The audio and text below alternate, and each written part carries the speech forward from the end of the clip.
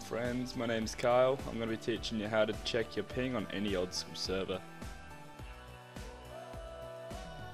So to start off, you just want to go to your search bar, type in CMD, hit enter.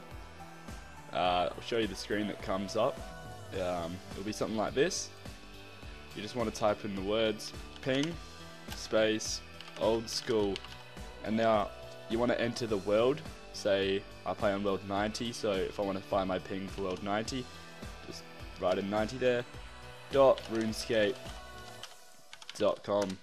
You hit enter, gives you all the averages and the highs and the lows, and it's telling me you're looking at here.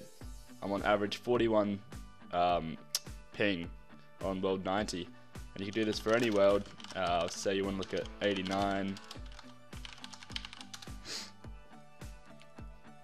This world's about the same, 41. Um, and so yeah, you just check the, say you're an Australian player, check the Australian worlds, find out which world is best for you. If you're a US player, type in the US worlds and find out which is best for you. And yeah, that's how we find out your ping on old school RuneScape.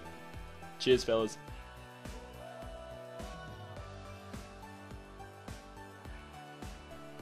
Fucking ping pang.